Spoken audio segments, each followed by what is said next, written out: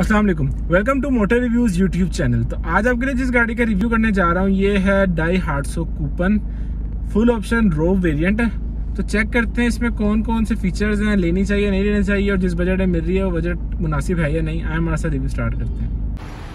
वालेकुम। तो आज जिस गाड़ी का आपके रिव्यू करने जा रहे हैं, ये है डाई हार्टसो कूपन। हार्ट कूपन पाकिस्तान में अच्छी गाड़ी थी, अच्छी खासी चली भी है। एक नॉर्मल बजट में कन्वर्टेबल गाड़ी मिलना बहुत मुश्किल था। तो ये गाड़ी कूपन रोब है। रोब फुल ऑप्शन होती थी। तो ये गाड़ी चौदह बटा अठारह अठारह का ही लाहौर का रजिस्टर्ड नंबर लगा हुआ है। आप देख सकते हैं वीडियो में। डिमांडिंग प्राइस है इस गाड़ी की तेईस लाख रुपये कर रहे हैं। सो जो भी शख्स खरीदने में इंटरेस्टेड स्क्रीन पे नंबर चल रहा होगा, नंबर पे कांटेक्ट कर लें। या मजीद मालूम के लिए Ibrahim cars main J road पर शोरूम में आके ज़रूर विज़िट करें। अगर आप बात कर ली जाए इस गाड़ी की लुक्स की तो लुक इस गाड़ी की काफ़ी खूबसूरत है। और लेकिन आपको अगर रोड प्रेजेंस वाइज देखा जाए तो गाड़ी ना थोड़ी ज़रा साइज़ में छोटी लगती है। ये मेरा पर्सनल व्यू है। क्योंकि देखें, अब ये एक कूपन खड़ी है। ये मेरे पास वैसल खड़ी है। तो देखें, बाप बेटे वाली बात है। उसके अलावा फ्रंट पे आपको डी मिल जाएँगे। ये, लेकिन इसमें ये कलर हुए हैं। उसके साथ साथ projection lamp fog lamps D ये पूरा जलता है। यहाँ से यहाँ तक इसमें ये वाली साइड पेंट हुई हुई है मतलब ये उसमें शामिल नहीं होगा। ये पूरा डीआरएल है। तो ओवरऑल फ्रंट लुक आप इस गाड़ी की देखें। और फिर मुझे बताएँ कि ये गाड़ी तेईस लाख रुपये में मुनासिब है कन्वर्टिबल के लिहाज से, या हम हम कोई और गाड़ी भी देख सकते हैं ऑप्शन गवर्नमेंट सेक्शन में मुझे अपनी राय ज़रूर आगाह कीजिएगा। सौ वीयर सोलह इंचज़ का अलहरिम आपको मिलता है। कूपन के अंदर स्टैंडर्ड यही आता था। उसके अलावा अगर रेयर की बात की जाए तो जिस तरह फ्रंट पे हर चीज़ बम्पर एक्सटेंशन की है, इसी तरह रेयर पर भी है। ब्रेक लैंप इसका यूँ करके यहाँ तक जलता है। Indicator light and reverse light उसके साथ साथ इसका ज़रा जो एग्जॉस्ट साउंड है ना, वो काफ़ी अच्छा और स्मूथ है। मतलब आपको फील होता है कि आप एक अच्छे इकोनॉमी सेक्टर की स्पोर्ट्स कार चला रहे हैं। आप ये सुने ट्रैफ़िक का शोर अगर कम होता है तो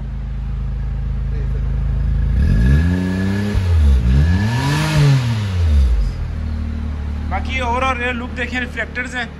ये वाली जो शेप है, ये ज़्यादा खूबसूरत है, जो इससे पीछे आने वाली कूपन रोप थी, वो आपको ज़रा थोड़ा बेसिक लगती थी वोस वैगन बीटल से मिलती थी वो, लेकिन वो साइज़ में काफ़ी छोटी थी as compare to this one so viewers ये देखें, इसमें आपको सीट्स स्पोर्ट्स सीट्स मिलती हैं। वैसे स्पोर्ट्स नहीं है, लेकिन इन लुक और अच्छी फैब्रिक सीट्स हैं मैनुअल हैं।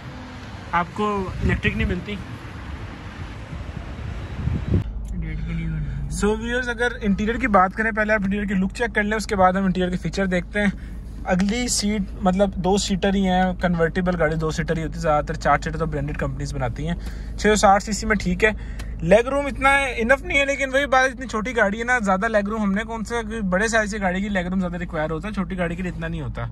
उसके अलावा थ्री स्पोक पावर स्टेयरिंग आपको मिल जाएगा इसमें एयर बैग आपको मिलता है साउंड कंट्रोल्स उसके अलावा एल एलईडी आफ्टर मार्केट लगी हुई है। जेनवन नहीं है।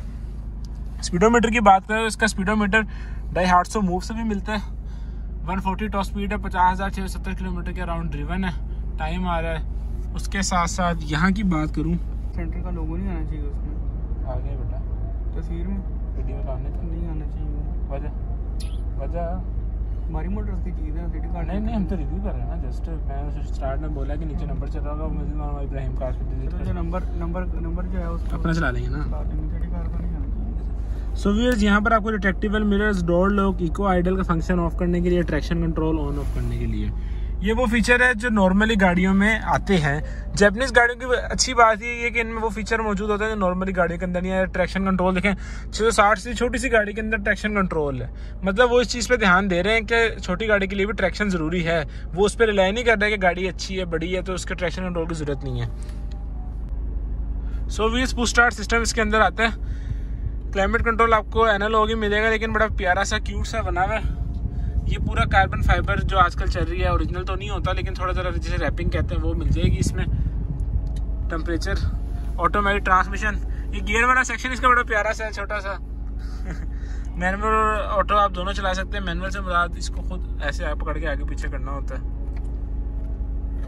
उसके अलावा यहाँ पे आपको चार्जिंग आउटलेट और इसके अलावा ये देखें, ये गाड़ी के उसकी इग्निशन का हैंड ब्रेक ये चीज़ जो कि मैं आपको दिखाना चाह रहा हूँ कि गाड़ी के अंदर ऑटो विंडोज़ हैं और पावर विंडोज़ के दरवाज़ों पे ऑप्शन नहीं है, यहाँ मिलेगा। ये देखें, मैं इसे डाउन करता हूँ। पूरी डाउन हो गई। और उसके अलावा व्यूअर्स ये देखें ऑटोमेटिक का ये फ़ंक्शन है। ये बनाया हुआ हमको। हैजर बटन उसके अलावा ग्लव बॉक्स सही है बाकी ये अच्छी खासी लुक में है एयर बैग पावर विंडोज़ वगैरह। उसके अलावा हीटेड सीट्स हैं दोनों, ये चीज़ मुझे बड़ी अजीब लगी और अच्छी भी लगी। अजीब मैं क्यों कह रहा हूँ कि इतनी छोटी गाड़ी में देने की ज़रूरत नहीं है, लेकिन अच्छी यूँ लगी कि होनी चाहिए। उसके अलावा ये जो इसका ऊपर कन्वर्टेबल का पूरा रूफ है, ये यहाँ से कन्वर्ट हो जाती है।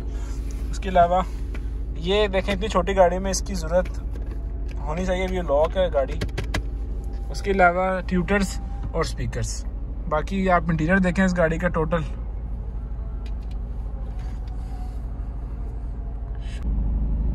तो मरीब कैसी लगी आपको ये गाड़ी?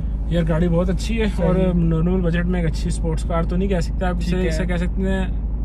बॉयज़ ब्राउन बॉयज़ की हाँ, अच्छी फेवरेट गाड़ी। है। कितनी सीसी गाड़ी है? छः साठ। 660 सीसी गाड़ी है और स्पोर्ट्स टाइप गाड़ी है। स्पोर्ट्स टाइप इन्होंने शेप बनाई हुई है एज सच स्पोर्ट्स कार है नहीं। मतलब आपको आप इसको एक तो इसका ये फीचर हो गया ना कि जो इसकी कन्वर्टेबल हाँ, हो है। रूफ है। वो इसका एक फीचर हो गया जिसको स्पोर्ट्स कार बनाती है। और क्या इसमें आप और इसकी शेप बड़ी स्पोर्टी है। मतलब काफ़ी मेरे एक दोस्त के पास येलो कलर की कूपन है। सही बड़ी अच्छी मॉडिफाई की हुई है। भागने भूगने वाला चक्कर नहीं है। मतलब तेज नहीं कह सकते आप इन गाड़ियों को लेकिन फिर भी बेहतर है। देन। के आप दूसरी गाड़ी ने लेकिन ये गाड़ी वही लोग लेते हैं जिसको शौक होता है क्योंकि देखें तेईस लाख रुपए का अच्छा खासा कैपिटल होता है। हम्म, हम्म। और ये बताएँ कि आप इसके कंपटीशन में कौन सी गाड़ी है इसी कंपटीशन में पाकिस्तान में कोई भी नहीं है।